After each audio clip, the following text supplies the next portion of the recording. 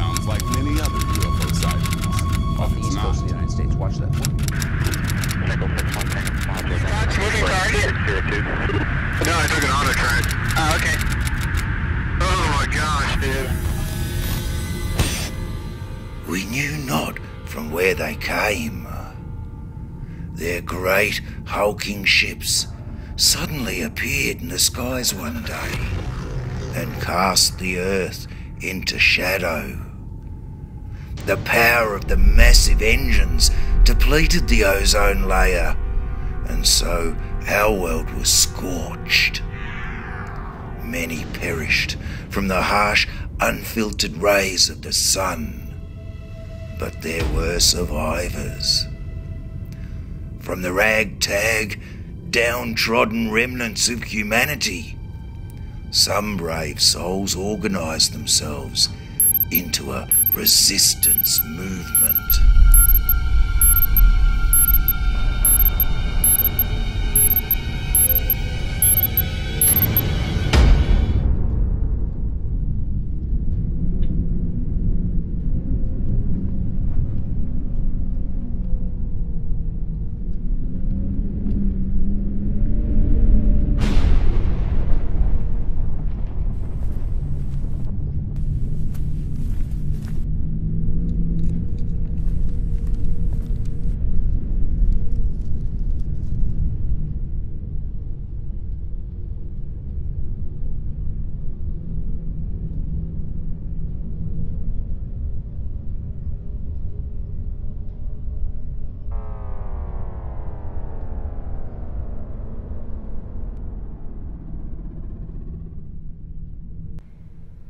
It's almost time to go, Anastasia.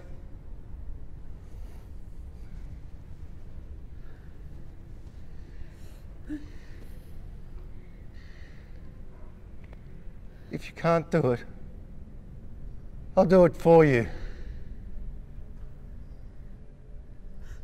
Look, I understand that it's the hardest decision a mother could ever make. No. You've decided. I haven't. I haven't. Not yet. The choice is simple. The resistance. The resistance are coming soon, and we can't take our child with us. They won't allow babies to slow them down. Now, we either go with them and have a chance, or we stay here and then we'll all die. You don't know that for sure that all three of us will die. I just know that our chances are better with them than without them. I mean, this isn't just about sacrificing our baby so that we'll live. Look around at this horrible toxic mess that we live in. Is this is this really something that you want to bring a child into? No, Rich.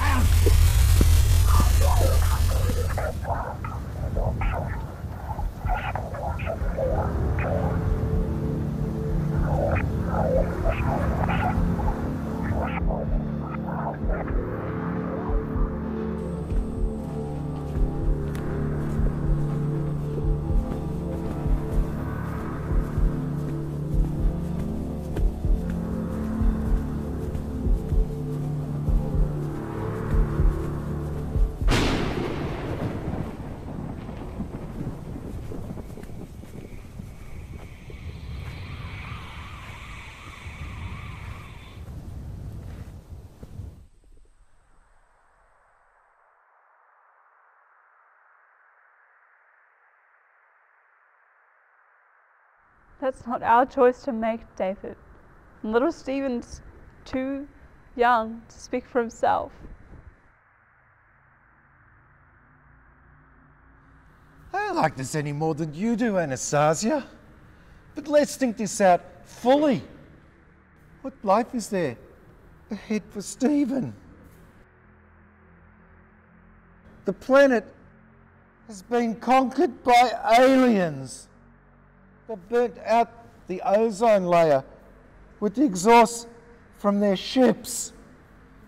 And no human being can go outside without risking being burnt alive.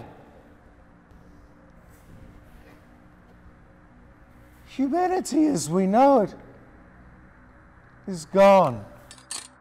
Humanity as we know it has been here for a few thousand years. People have lived on this planet for hundreds of thousands of years, throughout ice ages and other such calamities. Who are we to say that our baby won't survive, maybe even thrive? Are you really willing to take a gamble on a long shot like that when the resistance is only a kilometre away?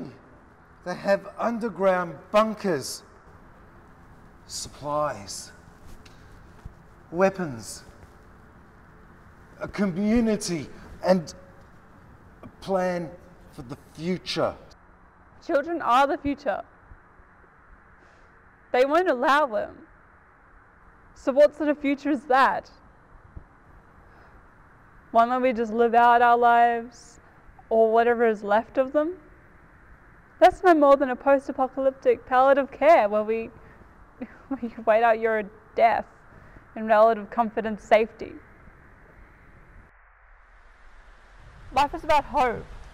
I'd rather die than, the, than an existence based in such misery.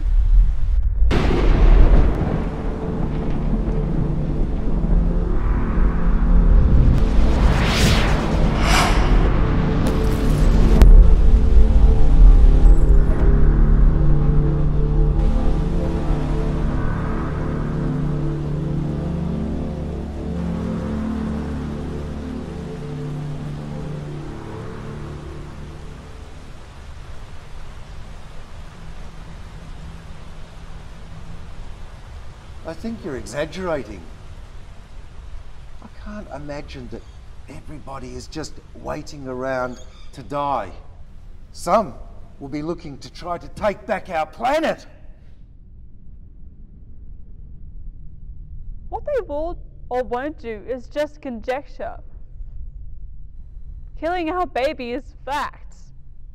I'm not so sure that I'm willing to do that. I don't believe that we have the right. When we became parents, we entered into a sacred care, duty of care. It's not just about us anymore. A parent should be willing to lay down their lives for their children. I agree. And I would. If the circumstances were just a little bit more normal. I don't want to go with the resistance. Really. I've thought about it, and there is no future in a community without children. We can debate all that we like about life being about survival, but it also is about the survival of the species. I'm sure that once they've re-established themselves, people will start to have children again. Even so, the ends don't justify the means. Creating a new community at the cost of the lives of young children and babies is wrong.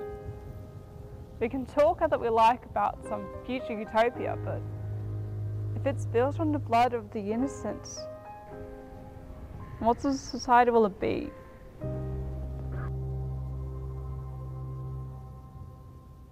We've only minutes to make a decision. You want to get into philosophy now? This isn't some airy, fairy, theoretical shit.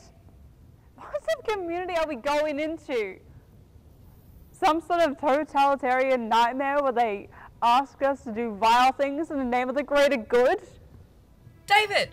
They want us to kill our fucking baby!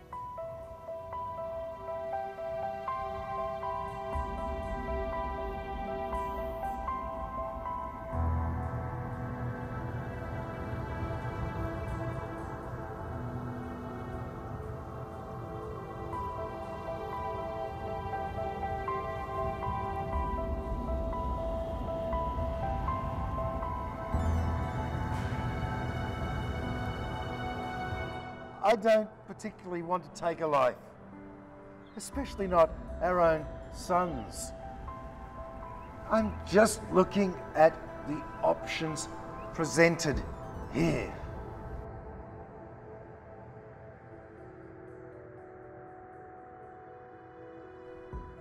Here are the options as I see it.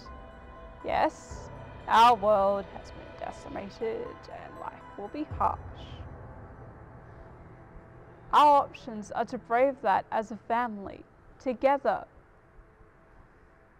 Or to kill our own child and go with the so called resistance. How long do you think we will survive on our own? A day? A week? A few months? Life isn't always about the length of time, it's also about the quality and what you do with it. If we use if we use this knife to end Stephen's life, there is no going back. And then, what will our lives be like for the next day, week, few months? Do you really want to live with this burden weighing down on you, on your heart? Can you live with it?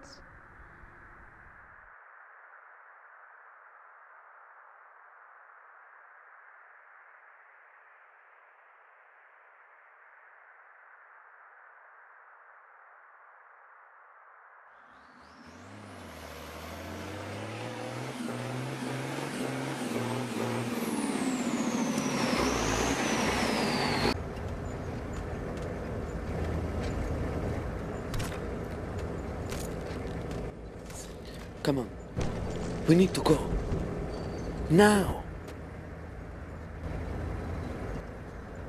Give us a minute. I'm not weak. I know. You only want what is best for us, but it has to be for us all. I don't know if this is a mercy killing anymore or just a convenience for us so that we can just live a little bit longer. Damn you, Anastasia. You think too much! It's not about either. It's about whether a just society can be built on unjust foundations. Can we really be part of a community that asks us to kill our baby for the price of admission? We gotta go. Now! Fuck off! We're taking our chances on our own!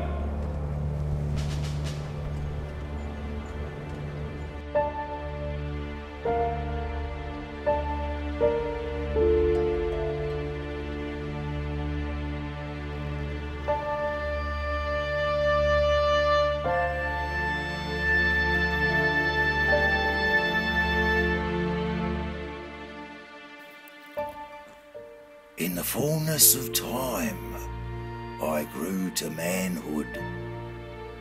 My parents would be worried that I'd be outcast. But all children born after the Great Invasion were similar to myself. We were a new species, and one that had adapted to the new climate.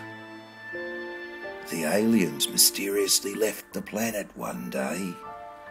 We guessed that they'd taken what they wanted from the Earth, and now it was ours again. Our parents' generation died out, and we walked out of the darkness, We reclaimed that which was ours by right of birth. I shall always be grateful to my parents for choosing life.